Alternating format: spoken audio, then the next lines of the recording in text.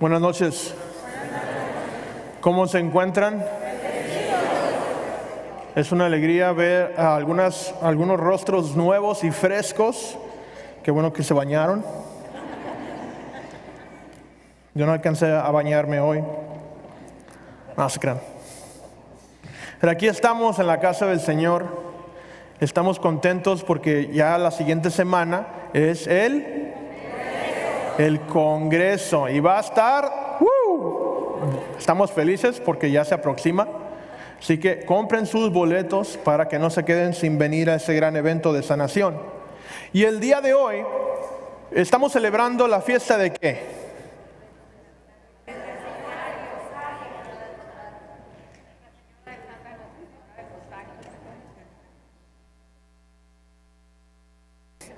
¿Sí saben? ¿O no? Eh, ¿Hoy es domingo de qué? No se crean. Quería ver si estaban despiertos. Hoy es el día de nuestra Virgen del Santo Rosario. La, la, Virgencita del Santo Rosario. Entonces, por eso me puse esta, esta vestimenta el día de hoy, para celebrar esta fiesta. Y es interesante cómo a veces se alinean las escrituras, ¿no? Porque de hecho este día tiene sus propias escrituras. Pudimos haber leído otras lecturas que son para el día de hoy. Pero no leímos esas, leímos las lecturas de hoy. Y las lecturas de hoy creo que sí eh, cuadran y se alinean bastante bien con lo que estamos celebrando. La primera lectura habla de nuestro Padre de la Fe. ¿Quién es? Abraham. Y Abraham, la escritura, especialmente en el libro de Hebreos, lo subraya como un ejemplo de, de fe, de creer a Dios, pero chequen esta parte. Dice que Abraham le creyó a Dios. Hello. Abraham le creyó a Dios no solamente creía en Dios, sino que le creyó a Dios. ¿Ves la diferencia? ¿O todavía quieren que les grite más? Ah, Abraham le creyó a Dios. Dice la palabra de Dios que hasta los demonios creen en Dios, lo conocen y tiemblan delante de Él. O sea que no es suficiente que tú y yo creamos en Dios. No es solamente creer en Dios, sino creerle a Dios. Y creyéndole a Dios, entonces seguimos lo que Dios nos dice. Porque cuando tú le crees a alguien, le vas a hacer caso, ¿no? Le vas a hacer caso y vas a seguir sus indicaciones. Vas a continuar en ese camino, vas a seguir las instrucciones que esa persona te ha dejado, ¿verdad? Si tú no le crees a tu doctor, ¿cómo te va a ir? Yo sé que algunos de ustedes no le creen a su doctor y por eso no se toman las medicinas.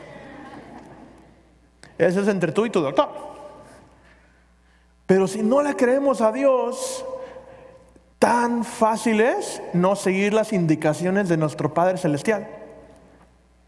Entonces, la fe implica, la fe significa que tú y yo vamos a seguir sus pasos, seguir sus caminos seguir en la lucha, no rajarnos, ¿verdad? No dejarnos llevar por la tentación. No sé si a ustedes les pase, pero bueno, yo sé que aquí en el centro carismático pues no pasa, ¿eh? porque aquí puro santo. Se, le nota así lo dorado aquí. Se parecen a la Virgen, no tanto, pero se parecen así de hermosos están ustedes esta, en esta hermosa tarde, ¿verdad? Yo sé que aquí no pasa, pero a veces como que como que el, cristiano de hoy, como que le llega una tentación, una dificultad. Y a veces cuando vamos a los grupos de oración, vamos a, la casa de Dios y nos alimentamos de Dios, nos sentimos fortalecidos, ¿no? Y eso es bonito. Pero después es como que salimos de la iglesia y nos aventaran a un charco de lodo. Y hay diferentes tipos de pecadores, ¿no?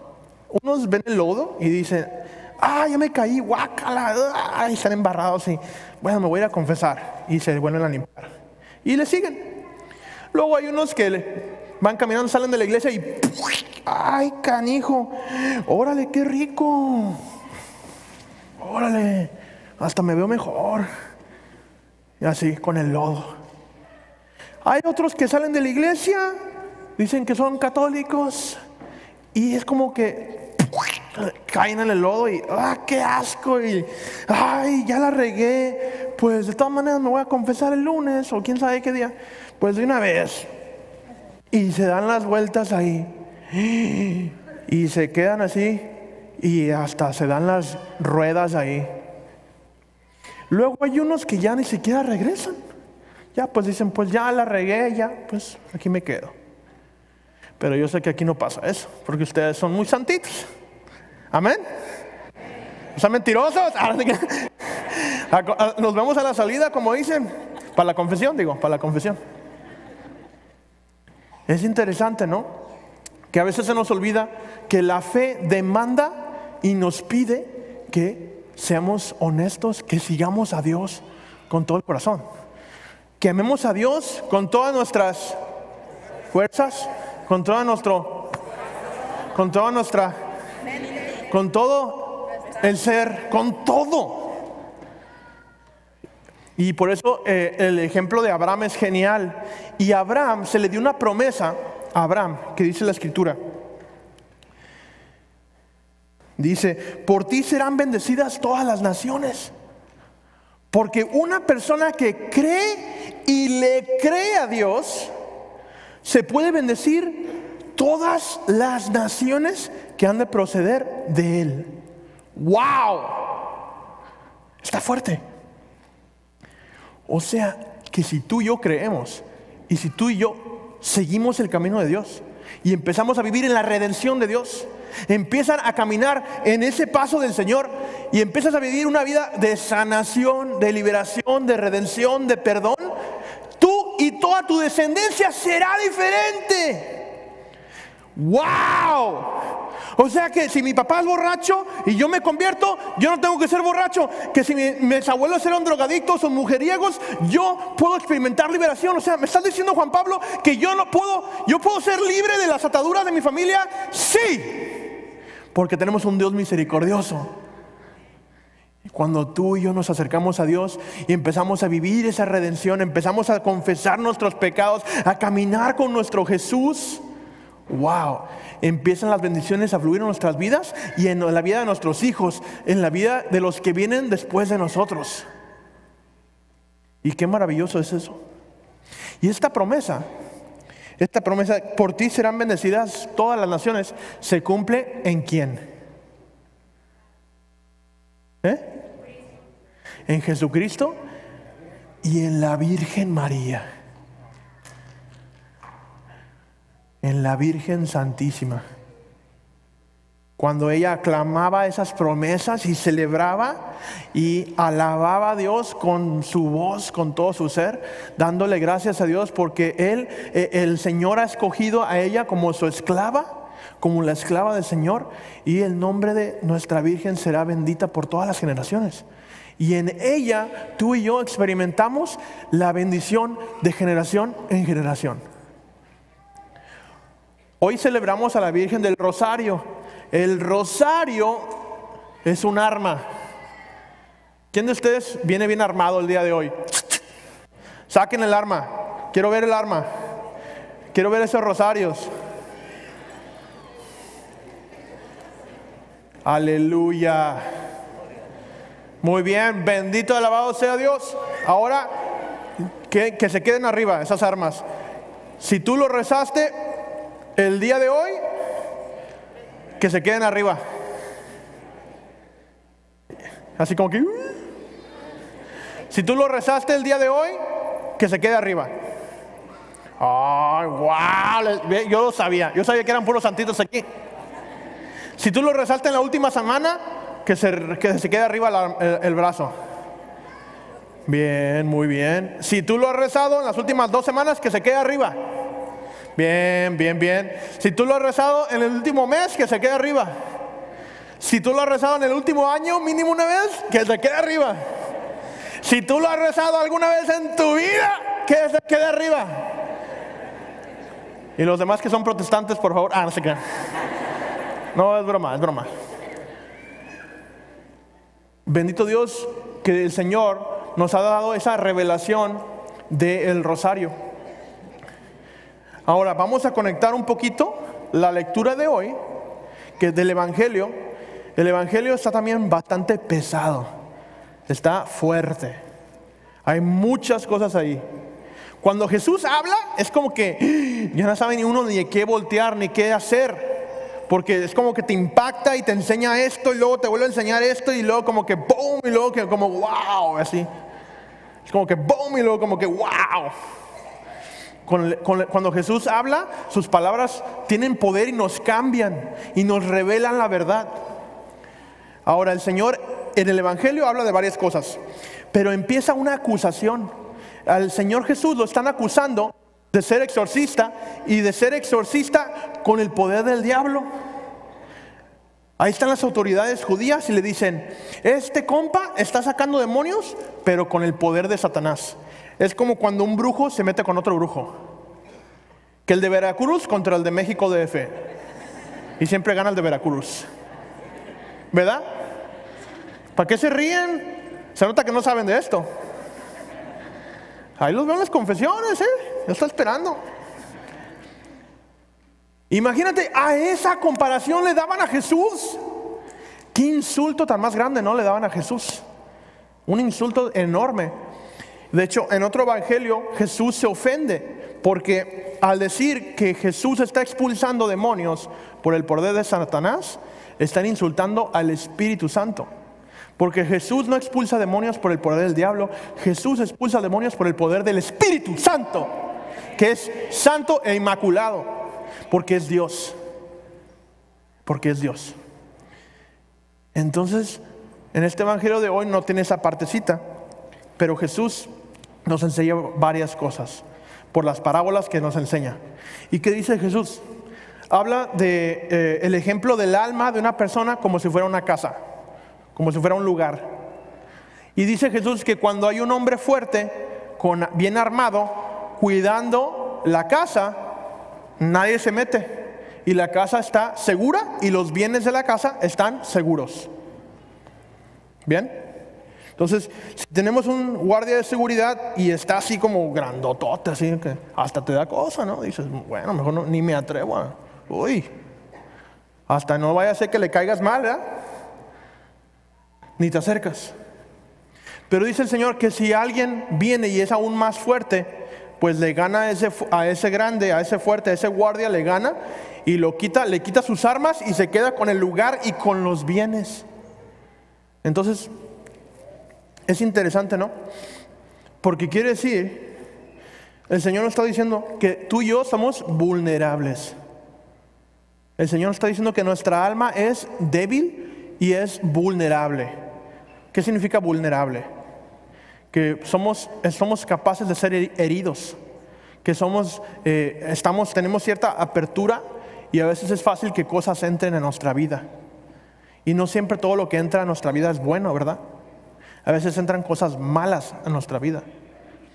Entonces lo que el Señor nos está diciendo es si tú quieres que tu alma esté guardada, que esté custodiada, que esté protegida del mal, tienes que tener una protección más grande que aquel que viene a hacerte mal.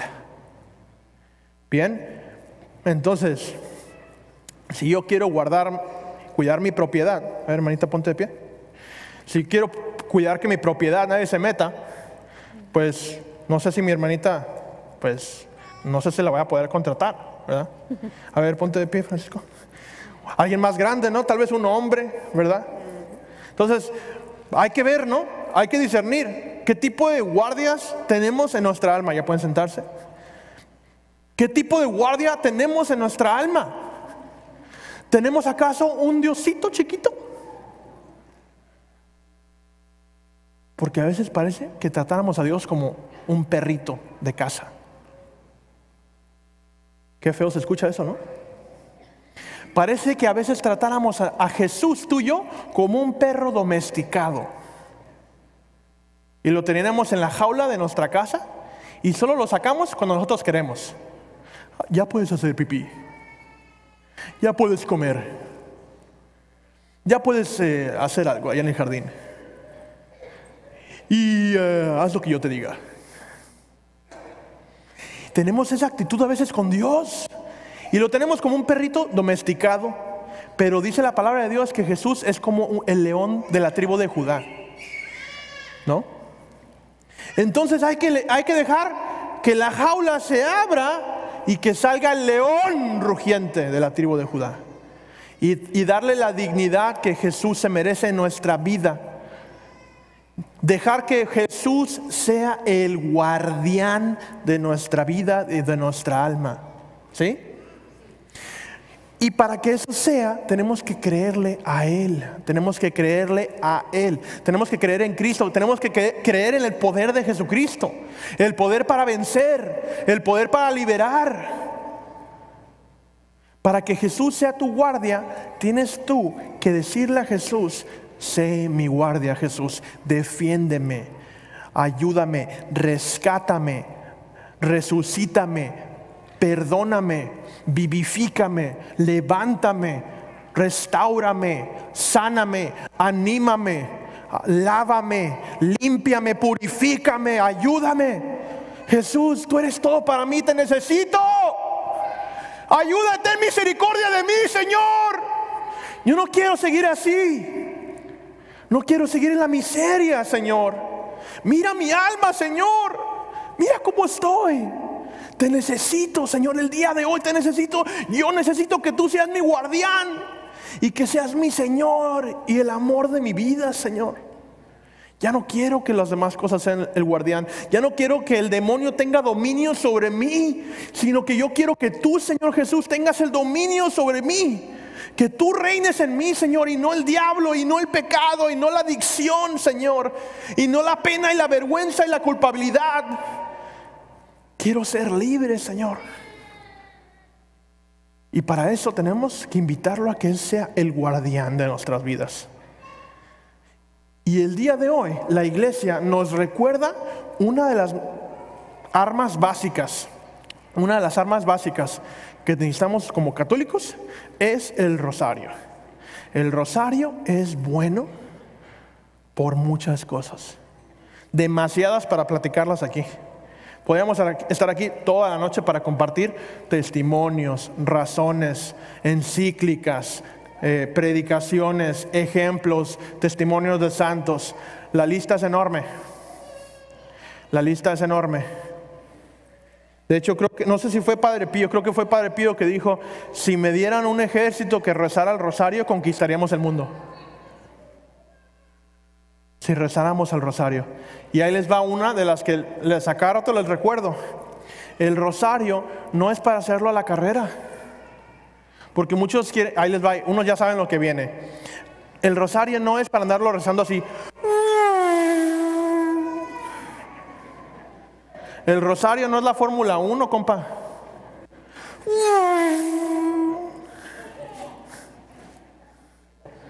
Así lo queremos, a veces queremos cumplir con el rosario, pero no lo queremos orar. El rosario, una vez de hecho, yo me acuerdo, y a mí yo me sentí triste, pero una vez fue un evento católico y dijeron, estaban promoviendo rezar el rosario, y a mí se me hizo algo muy bueno, que estaban promoviendo que rezáramos el rosario todos los días. Y decían, solo 15 minutos al día pueden cambiar tu vida. 15 minutos al día. Rezas el rosario en 15 minutos. Y yo así como que... En 15 minutos, buena suerte. Dios sabe María. Pues ¿cómo le vamos a hacer así, hermanos? ¿De qué ¿Para qué es el rosario? ¿Para decir un montón de oraciones? Sí y no. Sí es para orar, sí es para decir las oraciones, pero las oraciones tienen que ser pausadas, tienen que ser eh, no eh, como en la primera velocidad, ah, dándole a todo hasta que se suba hasta el 7 las revoluciones por minuto. No quemando llantas. El rosario es para que tú lo saborees, para que lo medites, porque el rosario es la meditación en la palabra de Dios y en los misterios de la vida de Jesucristo, de la vida de la Virgen, de San José y de los otros personajes del Evangelio. Cuando meditamos en el Espíritu Santo, es invitar al Espíritu Santo. No solamente decimos tercer misterio, Pentecostés. No, hombre. Pues el Espíritu Santo como que apenas iba a bajar y, se le escaparon. El Espíritu Santo como que iba así y ay, se fueron. Ya están allá por el, por el downtown. El Espíritu Santo, bueno, ya me voy. No se trata de rezarlo a la carrera, se trata de en verdad pensar en lo que estamos diciendo. Pensar en el Ave María, pensar en las palabras del ángel, pensar en las realidades meditadas, pensar en los misterios, imaginarlos, vivirlos, saborearlos, disfrutarlos. ¿Qué significa que a veces en el rosario del martes o del miércoles o del viernes, de vez en cuando te va a pegar. Que cuando le dan los latigazos a Cristo, respira profundo, hermano. Imagínate mínimo uno de esos latigazos, latigazos.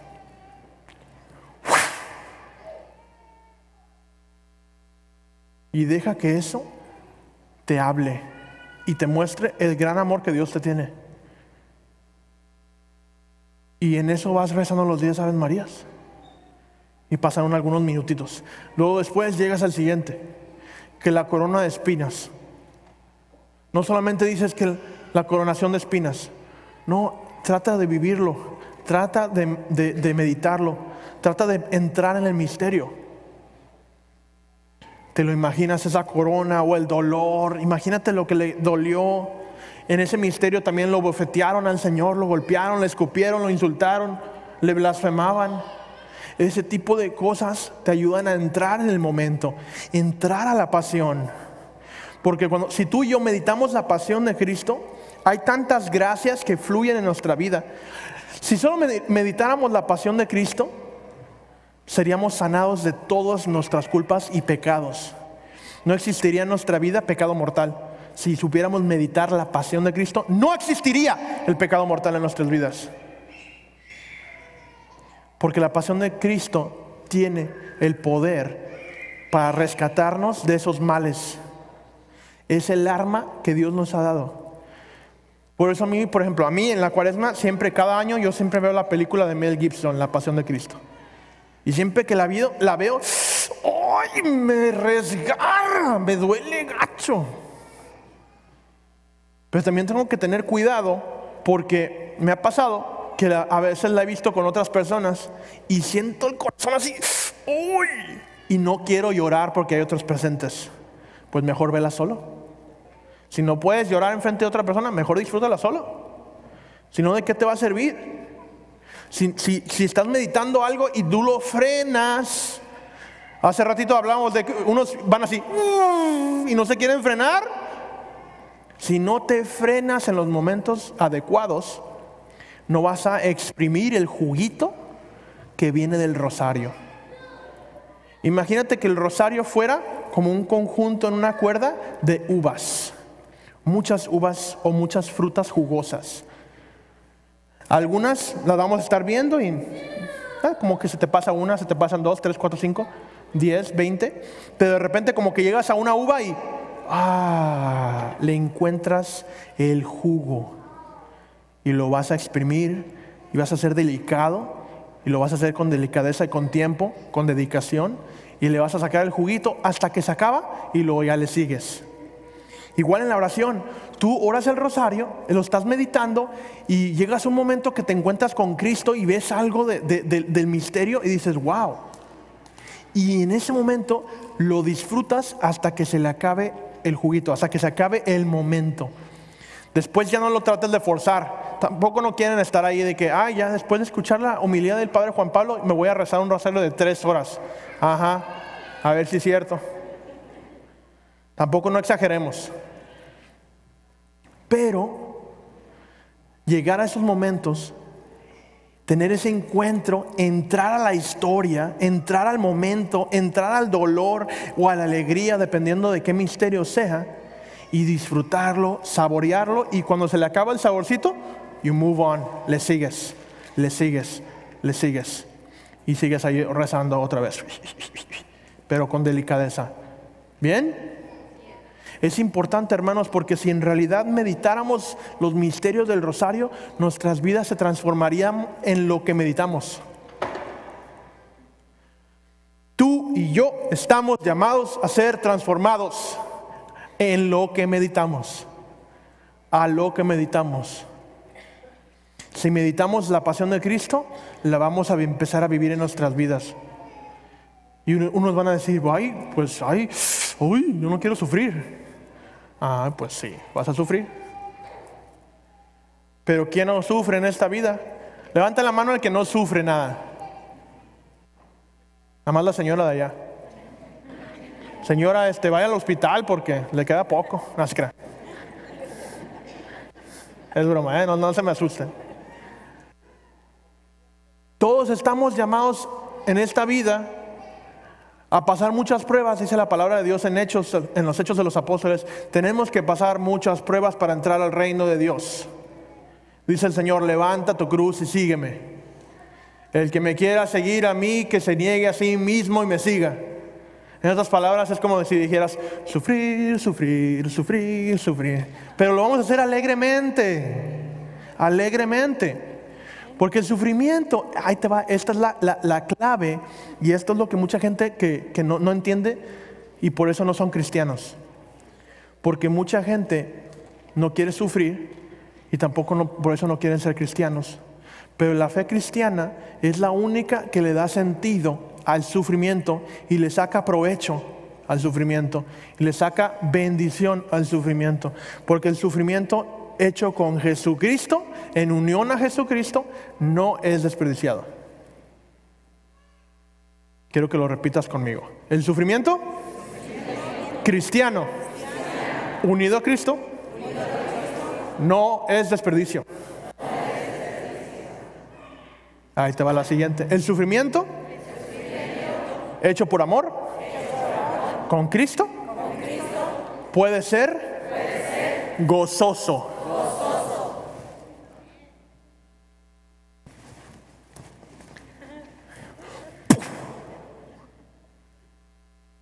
Es verdad, hermanos, imagínate, los santos, muchos de los santos eran los que más sufrieron.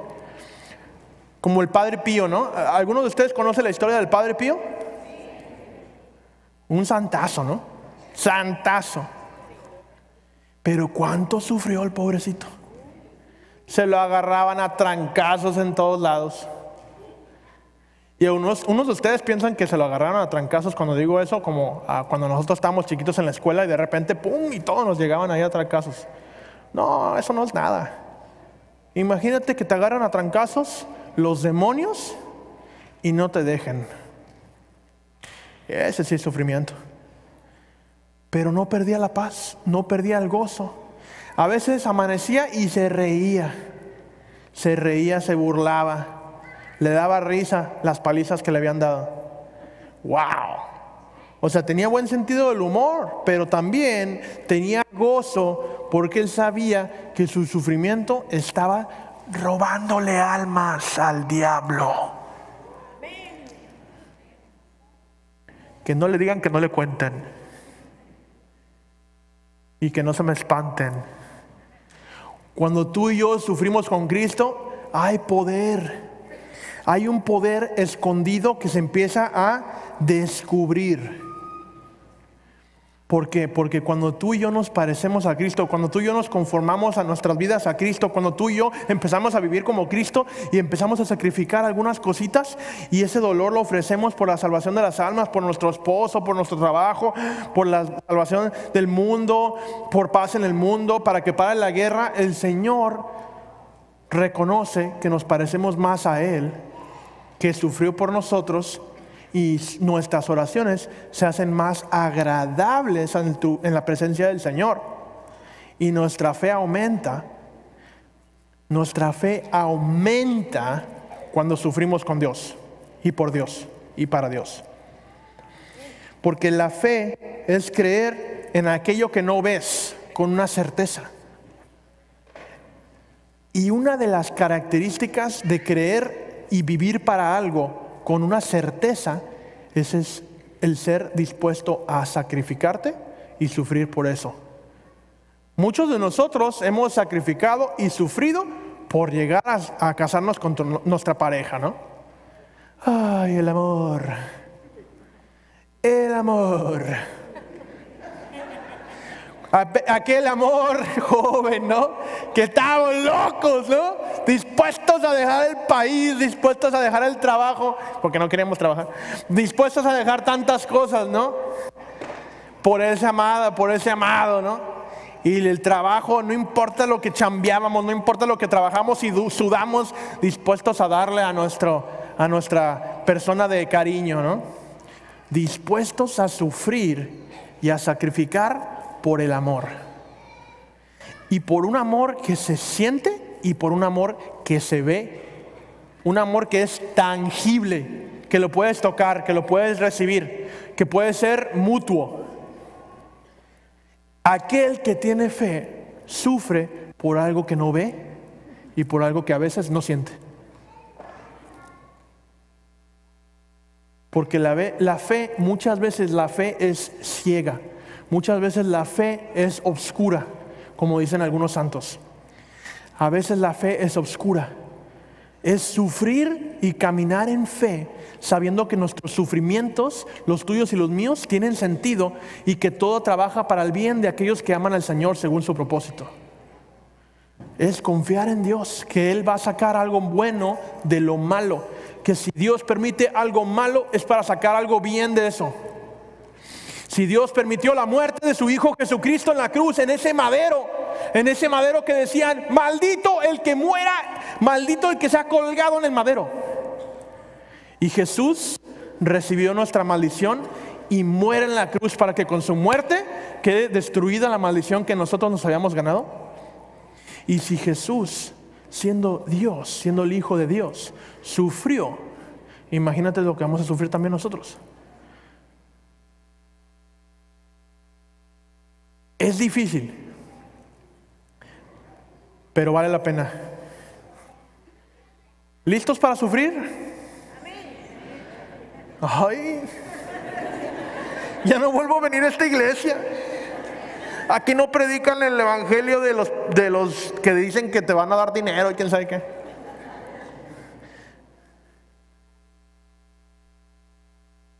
El día de hoy el Señor está pidiendo que levantemos una armada de gente que esté dispuesta a orar el rosario y que empiece a ofrecer pequeños sacrificios por los sacerdotes, por los obispos, por la iglesia, para que se levante de nuevo el reino de Dios. Y en la renovación carismática tenemos que hacer esto.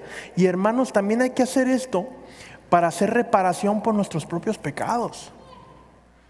A veces muchos dicen, ay, yo voy a orar por el hermanito. Ora por ti misma.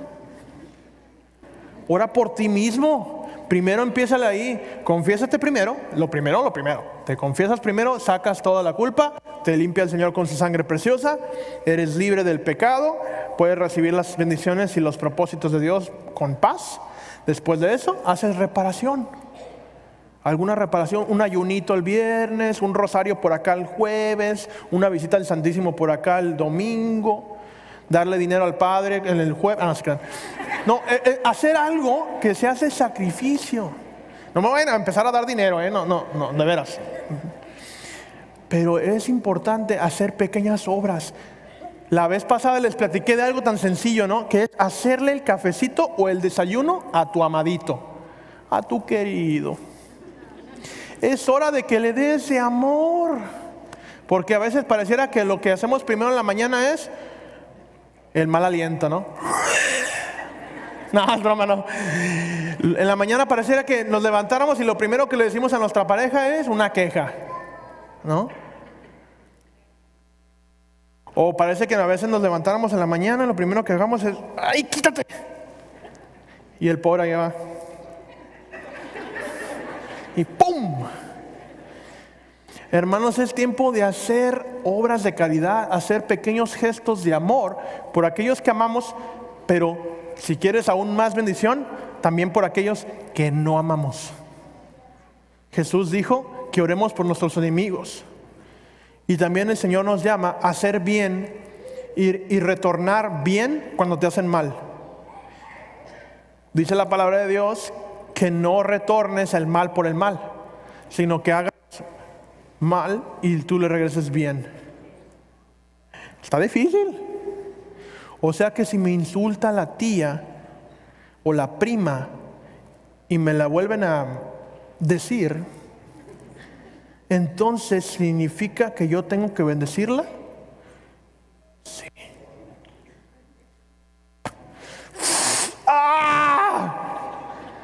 No queremos sufrir. Y a veces tampoco, no, solamente no queremos sufrir, sino que a veces pareciera que y, pasa mucho cuando vas manejando aquí en esta ciudad, ¿no? Porque nuestro, nuestro Houston es una ciudad hermosísima, ¿no? El tráfico está estupendo, ¿verdad? Ay, qué lindo tráfico tenemos. Y a veces uno va medio estresado. Y luego que vamos tarde a la misa. Y dicen que vamos a la misa para recibir la paz. Paz la que te... En la misa sí hay mucha paz. Pero vamos así como leones a veces, ¿no? Nada más se nos mete uno y... Y salen ahí hasta demonios. Hermanos, en, esa, en ese detallito de la vida cotidiana, si lo pudiéramos cambiar, a mí me costó mucho trabajo. Que en vez de que te vaya bien, o sea, en vez de hacer algo malo, decir, ay Señor, bendícelo. Si te cuesta, si te das un suspiro, se te va a salir, ay Señor, bendícelo. Que no le pase, no, porque luego unos, unos dicen, ya como que pasan ese paso, dicen, Ay, bendícelo, Señor, pero que lo pare la policía, Señor. Para que le den un, un ticket. Para que le den un ticket. Ay, pues eso no es desearle el bien. El desearle el bien es desearle a los demás lo que deseas que te pase a ti. ¿A ti te gusta que te den un ticket? Entonces, ay Señor, y tú, ay Señor, bendícelo, pero que se le ponche la llanta. Hermanos, eso se llama venganza, eso se llama odio, eso se llama malicia. Eso no está bien y eso no es de Dios. Hay que reconocerlo, entregarlo a Dios, pedir perdón y cambiarlo. Cambiarlo poco a poco, poco a poco, lo vamos cambiando. Tal vez para algunos el primer paso es tragarte la lengua, ¿no? Morderte la silla hasta que sangras. No, no te creas. No, no, no vayan a hacer eso, ¿eh? Morderte la lengua, pero sin mordértela. O sea, simplemente no decir lo que querías decir en voz alta. ¿Sí? Después de hacer eso por un tiempo, tal vez ya puedas cambiarlo y decir, ya, Señor, bendícelo. Y uno puede ser sincero, hasta uno puede decir, Señor, me cayó medio mal, pero bendícelo. Señor, casi me mata, pero bendícelo. Señor, ese compita me robó la paz, pero bendícelo, Señor, ayúdale. Bendice nuestra ciudad, Señor. Quítanos el enojo y la furia. Quítanos esa furia del camino. Quítanos ese enojo. Libéranos, Señor, para que podamos vivir en paz aquí en esta ciudad, Señor. Y empiezas también a alabar a Dios. La, parte más alta de esa transformación sería Bendícelo, Señor, y te doy gracias por mi hermanito loco. Gracias, Señor, por su vida, gracias por su carro, gracias porque está vivo. Bendícelo y protégelo. Eso ya sería como lo, más alto. Entonces, hermanos, ¿están listos para ser transformados? ¿Sí? Entonces, vamos a levantarnos como armada de Dios. Otra vez con ese rosario aclamar las promesas de Jesucristo, a aclamar las promesas del rosario, a confiar en Él, entregar nuestras vidas y también hacer reparación por nuestros pecados. ¿Bien? Bueno, pues vamos a continuar con la misa. Les pido que simplemente guarden un momento de silencio y mediten en lo que se les ha compartido. Piensen en lo que el Señor les ha dicho. ¿Quién quieres que sea el fuerte de tu vida? ¿Tú mismo? ¿El demonio? ¿O el Señor?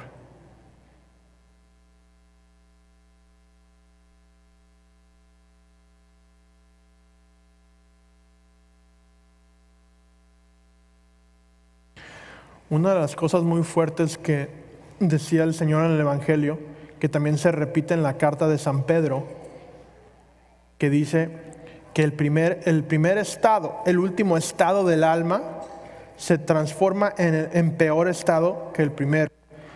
Y dice San Pedro que es como si el perro llegara de regreso al vómito a comerse el vómito.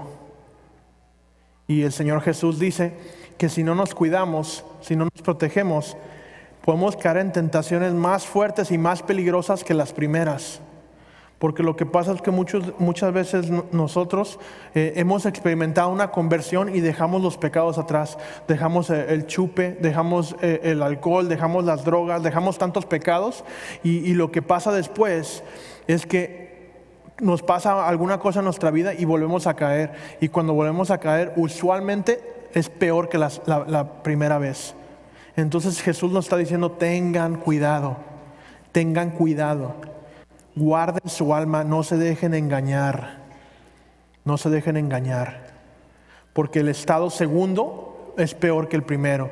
Y por eso dice Jesús en el Evangelio, que después de haber limpiado la casa, llega el demonio con siete demonios, demonios peores que él para entrar y retomar la casa.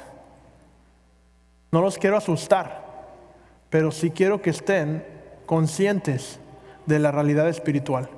Cuando tú y yo hemos experimentado una sanación, una liberación, una confesión, una, un alivio del Señor, va a venir el chanclas, como le dicen, va a venir el chanclitas, va a venir el chanclitas y va a venir a fregar. Llegará en su momento. A veces espera, a veces es más paciente que nosotros, pero llegará el momento en que viene a tentarte hacer cosas peores de las que ya estabas involucrado. Entonces hay que tener cuidado. ¿Y cómo nos, tenemos, cómo nos vamos a guardar? Con la Eucaristía. La Eucaristía es la manera más perfecta de dejar que el guardián entre y viva dentro de nosotros. Amén.